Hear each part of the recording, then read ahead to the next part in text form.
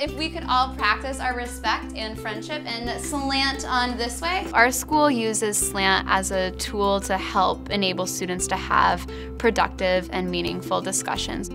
We want to make sure that people feel comfortable sharing their thoughts in this classroom. They have to sit up, they have to lean in, they're acknowledging the speaker, they're nodding, and they're tracking the speaker. And that's something that is expected of students. So I'm gonna have you practice showing friendship and respect with your bodies right now. Slanting is when students understand that that's how they are going to give their full attention.